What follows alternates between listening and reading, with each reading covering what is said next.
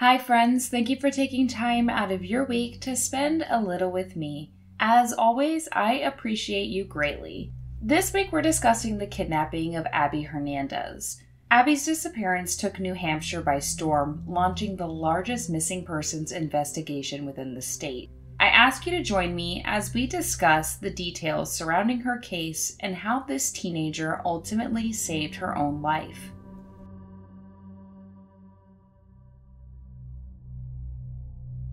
Abigail Hernandez was born on October 12, 1998, in Manchester, New Hampshire, to her mother Zenya and father Ruben Hernandez. Abby lived with her mother and sister Sarah. Ruben and Zenya divorced prior to Abby's disappearance. Growing up, Abby had what many would describe as a perfect childhood. She was a good student and well known for her athleticism in school. Her peers described her as kind, positive, and overall a joyful person. Abby just started her freshman year at Kennett High School when her life took a drastic change. On October 9, 2013, Abby Hernandez left school on foot, walking the same path she always did back to her mother's house, when she vanished without a trace. At first, no one knew the extent of her disappearance, but by the time 7 p.m. came and went, Zenya was worried. When she came home from work, it appeared Abby never made it home. The dogs had not been taken outside, and nothing inside the house appeared to be out of place. It was unlike Abby to not come home after school, and if she had plans, she would have told her mother.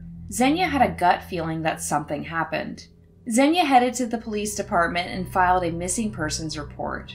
She explained Abby had no problems at home or school. There was no indication that she ran away since Abby took nothing with her. Both her mother and authorities expected the worst, and sadly, they were correct. Abby was abducted.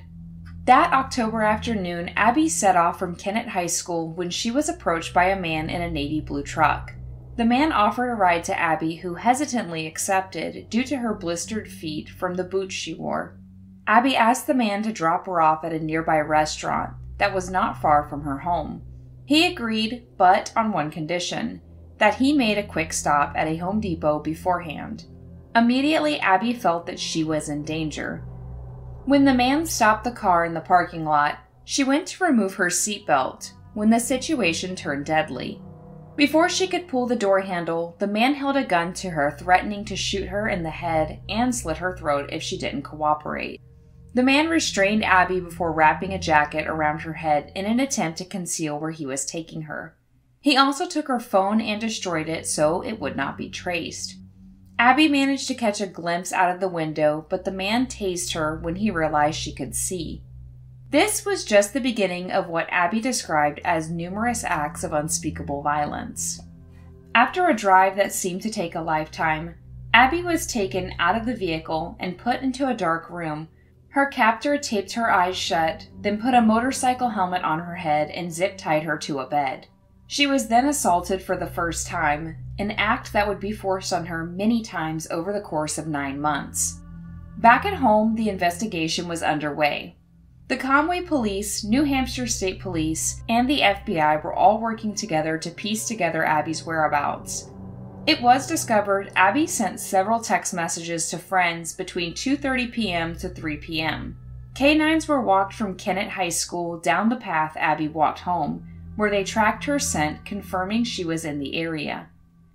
Local volunteers contributed by combing thousands of acres near and around the area Abby was taken from.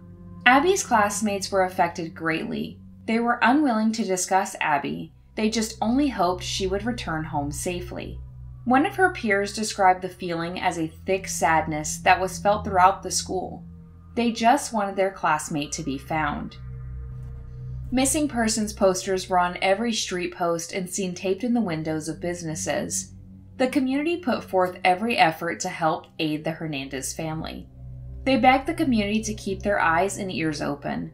Someone, somewhere, had to have seen something. Zenya avoided the press except to deliver pre written statements at the advice of the investigators. During one of these conferences, Zenya reached to her daughter stating, quote, Abby, you matter to me. I believe you're alive, and I know that hope speaks louder than fear. It is my hope that you can reach out to me. I feel your absence every day, and I want you home with me. End quote.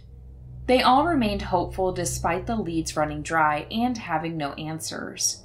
A flashlight vigil was held in Schouler Park in downtown Conway. Nearly 500 participants provided the light to help Abby find her way home. Everyone was worried about Abby because no one had any idea what happened to her. Then, on November 6, 2013, Zenya received a letter from Abby dated October 22, 2013, two weeks after she disappeared. Initially, the letter was not revealed to the public until the validity of it could be proven. The letter was a start to something bigger, and when it was proven to not only be Abby's handwriting, but also her tone of voice, Zenya was even more hopeful. However, this new lead provided concern for her safety because it proved Abby wasn't alone and it was unsure if this letter was forced or written willingly. When word of the letter hit the media circuits, many rumors and speculations regarding Abby's disappearance flooded the town. Many who once searched for the girl started to wonder if she might have left on her own. One of the rumors was that Abby was pregnant and sent away, but Zenya adamantly defended her daughter. She didn't run away, and she was sure she was abducted by someone she did not know. Meanwhile, Abby, who was only 30 miles away in nearby Gorham, was hidden away in a storage container, formulating a plan to save herself. Abby stated, quote, I remember thinking to myself, okay, I gotta work with this guy, end quote. She tried to plead to her captor's inner human by telling him, quote, I don't judge you for this if you let me go. I won't tell anybody about this. I told him, look, you don't seem like a bad person. Like everybody makes mistakes. If you let me go, I won't tell anybody about this. End quote. But Abby's efforts to reason were initially unsuccessful. The man didn't bother to listen to her pleas, but rather lock her away in a storage container where she suffered daily abuse and routine assault. In her moments alone, Abby would pray to God, but she would omit saying Amen at the end because she didn't want God to leave her. Over time, Abby eventually gained enough trust from her captor to be allowed into his trailer, where he put her to work printing counterfeit money for him. Her captor couldn't trust her enough to not have a safety net for himself, so he put a shock collar on her to deter any calls for help. Her captors stated it was a little more humane way to ensure she wouldn't try anything funny. He made Abby raise her voice enough for the collar to go off. Once she was shocked, he looked at her and said, Okay, now you know what it feels like. The man also demanded that Abby call him master. Over the course of nine months, Abby obeyed her captor, going along with whatever he wanted to do and over time a bond was formed between the two. Abby convinced the man she was his friend, and he started providing special treatment to her, such as giving her books so she had something to do. One of these books was a cookbook from inside his trailer. At this point, Abby didn't know what her captor's name was, but inside of the cookbook, a name was written on the cover. She asked the man, Who's Nate Kibby? According to Abby, her captor breathed before responding, How do you know my name? Nathaniel Kibby was born on July 15, 1980. Kibby grew up in Conway and attended school at Kennett High School. And from an early age started his criminal career in 1998. At 18, he was arrested for assault, just the first of many charges. One officer who was familiar with Kibby described him as bright, possessing strong opinions, and thriving on conflict. Kibby was very involved in his political opinions conspiracy theories, and was a gun enthusiast. As an adult, he moved to Gorham but continued to work in Conway as a machinist for EEM Precision, where he was employed for eight years but let go in April of 2014 due to economic reasons. Some of Kibby's neighbors stated he was polite and pretty much kept to himself. His landlord said he was often grumpy, but he paid his rent on time and did not have complaints against him. There were never any signs indicating he was containing a child in his storage unit. Days before abducting Abby, Kibby was arrested for possession of marijuana, but nothing came from this. Then, in March of 2014, while Abby was still being held against her will, Kibby was charged with assault when he pushed a woman named Tammy Shackford. Kibby rear ended Tammy and her boyfriend and tried to pay them for the damage. When they refused his offer, Kibby followed the couple to their home in order to assess the damage of their vehicle. When he got out of his car and tried to take pictures, Tammy told him to leave. Kibby became irritated and pushed her. However, the charges against him for this situation were also dropped. Until October of 2013, Kibby had been a petty criminal that no one paid much attention to. So when Abby showed interest in him as a person, he fell for it. In July of 2014, Kibby received a call from a woman named Lauren Munday. Lauren and Kibby met on the internet and he previously gave her $150 in counterfeit money to help her pay for a hotel room. Lauren was unaware the $50 bills were fake, and when she tried to use one, she was arrested. She called Kibby and told him that she gave him up. She told him that whatever he was making in his basement, he'd better clean it up right now because they were coming for him. Kibby was sent into a panic mode and decided it was time to get rid of any incriminating evidence in his home, including Abby. After the two scrubbed his trailer free of his criminal dealings, he snuck Abby out in the middle of the night. On July 20th, 2014, Kibby drove now 15 year old Abby back to North Conway, leaving her steps from where he took her. Kibby made Abby promise not to give him up before driving off. Abby recalled looking up and laughing and just being so happy. Quote, Oh my god, this actually happened. I'm a free person. I never thought it would happen to me, but I'm free. End quote. She walked the one mile back to her home. It was a shocking but exciting reunion for the Hernandez family. Zenya stated Abby was very pale and thin. She'd lost a lot of weight. Abby had a look in her eyes that her mother had never seen before. No information was provided to the public about where Abby had been until they had a complete understanding of the facts surrounding her nine month disappearance.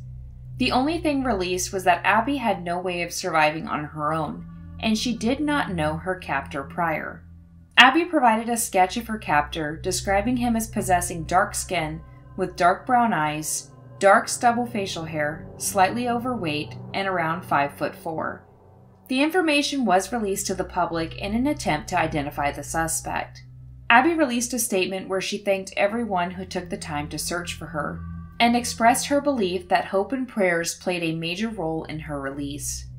Although Abby knew her captor's name, she was afraid to release the information. Abby decided to withhold his name with everyone but her mother. She confided in Zenya and explained she didn't provide all the necessary information, but she knew his name. On July 27, 2014, Zenya went back to the police and gave them Nathaniel Kibby's name, which led to his arrest. One week later, Kibby's trailer was raided and he was taken into custody in Carroll County and held on a million dollar bond. It was revealed during captivity Kibby used zip ties, a dog shot collar, a stun gun, and fake surveillance cameras to control her.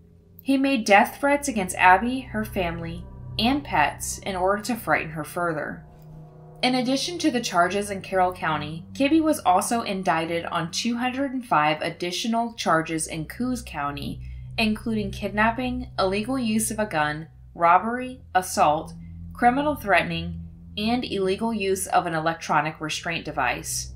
Kibby initially pled not guilty and his trial was set for June of 2016. However, he changed his plea at a preliminary hearing in May 2016. Kibby was offered a plea deal where he pled guilty to seven charges in exchange for a sentence of 45 to 90 years in state prison and attended a mandatory offender treatment program. Kibby admitted to his crimes and apologized to Abby. During the hearing, Abby told Kibby, quote, Some people might call you a monster, but I've always looked at you as human and I want you to know that even though life became a lot harder after that, I still forgive you. End quote. In February of 2022, a Lifetime movie titled Girl in the Shed The Kidnapping of Abby Hernandez aired, starring Lindsay Navarro as Abby and Ben Savage as Nathaniel Kibby.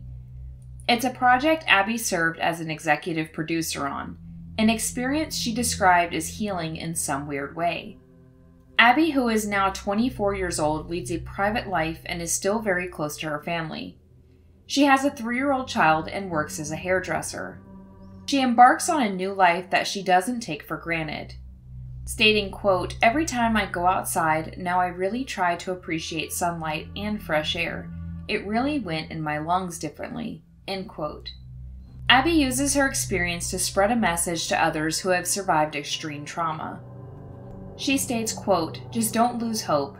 Even when you feel like you've lost everything, hope is something that nobody can take away from you. And just keep that, and it'll keep you going. End quote. Hi, friends. If you made it this far, thank you so much for watching.